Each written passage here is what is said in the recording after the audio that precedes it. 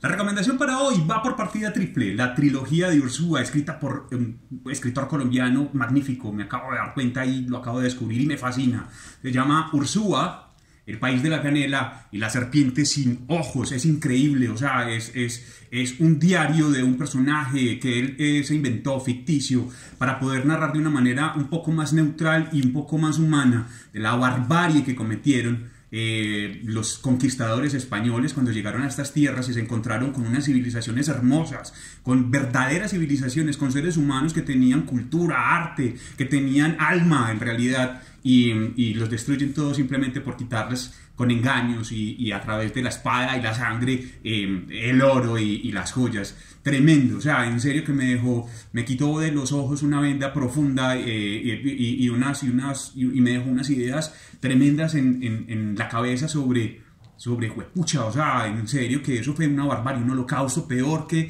que cualquiera que, eh, de los otros que se hayan eh, cometido registrado hasta ahora odioso, o sea, en serio que es odioso, pero a la vez es hermosa la forma en la que él narra esta historia, en la que él nos cuenta cómo va este señor Ursúa,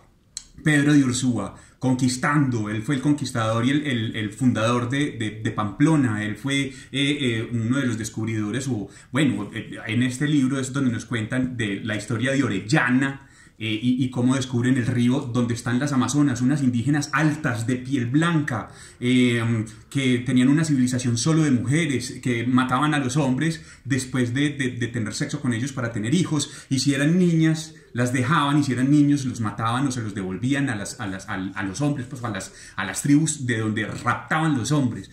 espectacular, en serio que es espectacular. Esto es un libro de cómo llega un joven de 17 años y se convierte en gobernador de la ciudad de Santa Fe de Bogotá. Este es el libro de cómo Orellana y un grupo de personas se pierden en la selva del Amazonas y se pierden en el río Amazonas y descubren, eh, tratando de salir, ocho meses se demoran bajando como una hoja, como dice él, como una hoja en, en el cauce de un río bajando por el río Amazonas, se demoran ocho meses y logran salir vivos de milagro. De 800 hombres que salieron, un poco más, em, solo alcanzan a llegar 60 vivos. Y esta es una historia de amor y es como Ursúa muere finalmente enamorado de una, de una, de una mujer eh, nieta de Atahualpa, del gran Atahualpa Yupanqui. Eh, qué libros, en serio que están más que recomendados, los recomiendo con el alma y con el corazón, la trilogía completa, qué nota, de William Ospina. Ahí está la recomendación para hoy.